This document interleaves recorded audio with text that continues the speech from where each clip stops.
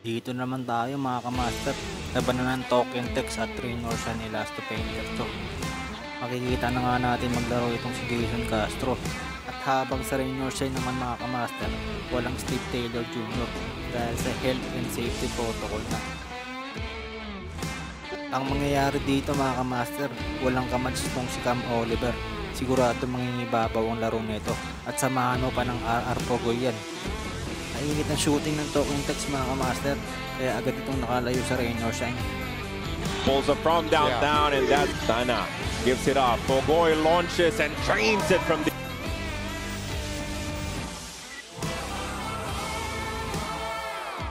squad as Jason Castro is not the type of player you'd want. Oh, Naibaba pa nga po ng Raynor Shine ng kalamangan sa lima 55 to 50 pagdating ng halftime mga kamaster.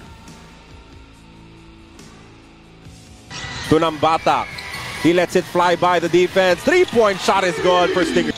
Ray Nambatak opening this second quarter with a baby sa shot block. Nambatak makes his move. Again, yung talino nung Nambatak. At pagdating nga po ng third quarter mga kamaster, lamang ng 23 points ng token text sa score na 87 to 64.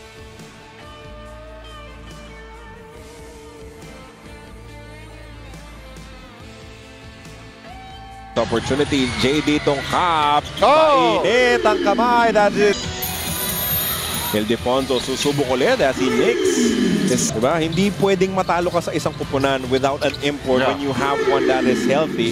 You know, today's uh, what, Saturday, no? They said, they told At tatalo nga po ang Raynor Shine mga kamaster. Umiscore nga po dito si Ray ng Batak ng 20 points, 4 rebound at 4 assists habang si Andre Krakot 12 points. At it- itong si Big Bo Belga 7 points at 7 rebound mga kamaster.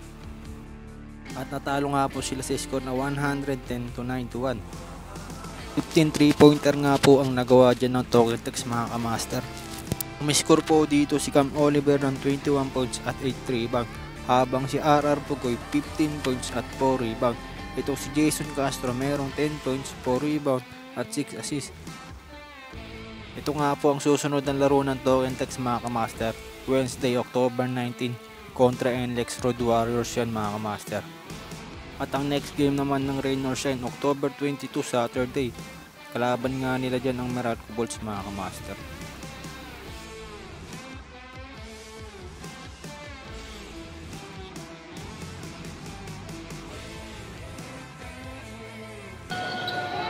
courtside experience.